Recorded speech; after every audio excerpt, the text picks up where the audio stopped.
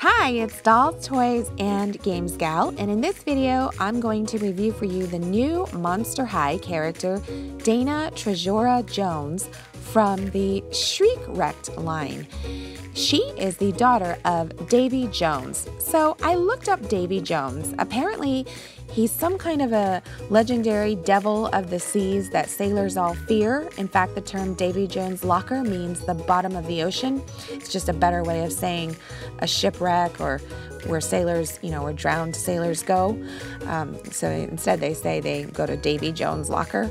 You can kind of pause to read that description if you want, but it just describes her life on the seas, looking for treasures. The stars in the sky are her guide. And at some point, I guess she meets the other Monster High ghouls. And I'm wondering if this is going to be a movie or a special of some kind. Whatever it is, I can't wait to see it.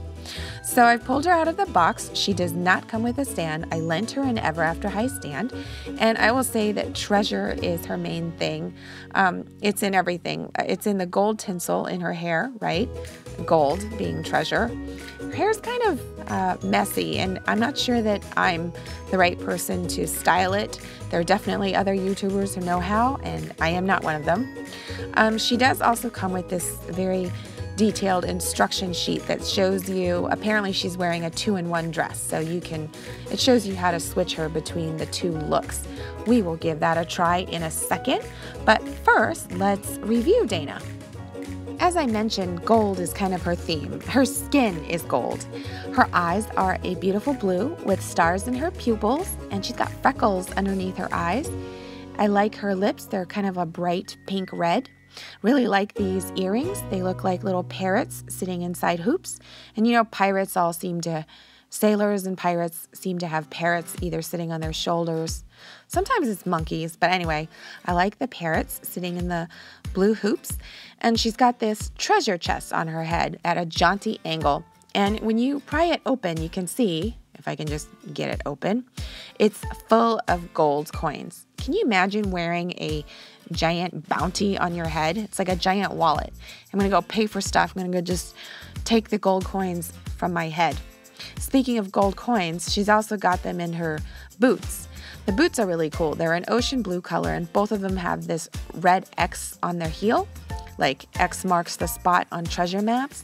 So when you pry open the heel, you also see she's got a stash of gold coins there too. What's also interesting about her is her forearms and her legs, which I'll show you in a second. But her forearms seem to be marked, you know, like marked up, almost like striations in the sand or maybe like marks of a treasure map. Maybe she's um, keeping treasure maps on her arms. And her hands are black, which of course means that she's supposed to be wearing gloves, black gloves. There are hearts on the back of her hands, and her palms just kind of look like leather gloves. Here I'm showing you her calves, as I promised. So yep, her legs have those treasure map markings too. So maybe she's marked treasure maps into her legs so she can remember. She maybe she's found so many treasures she's got a she ran out of paper and she's using her skin. Um, okay, so the the top on this outfit is molded. It's black and it's got like the suggestion of multicolored gemstones down the front. And she's got a chunky gold belt with a skullette on the buckle and a black full skirt with gold diamonds and gems and rubies and skullettes. So she's got clearly got treasure on her skirt as well. And uh, let's go ahead and try turning the dress around. Okay, so I'm gonna unfasten the back. Okay, yeah, I can see how this dress works. So I've gotta rotate it around the front and then pull up the top part so that she has a new bodice and then refasten the Velcro. Hey, wow, this is easy. If I can do it, anyone can do it. I'm not the best at this stuff, so believe me. I actually like this new outfit better. Um, I like the stripes, the nautical stripes, and I like the very full skirt. And the skirt is like this giant treasure map. It's, you know, blue for ocean and it's got various islands on it. Um, the islands are shaped like skulls, and there's some that are shaped like an octopus, and then there are ships, and then there are red X's for all the places that there's treasure. So I guess her skirt is like another treasure map. What do you guys think? Do you like this version or do you like the version where she's wearing the big black skirt.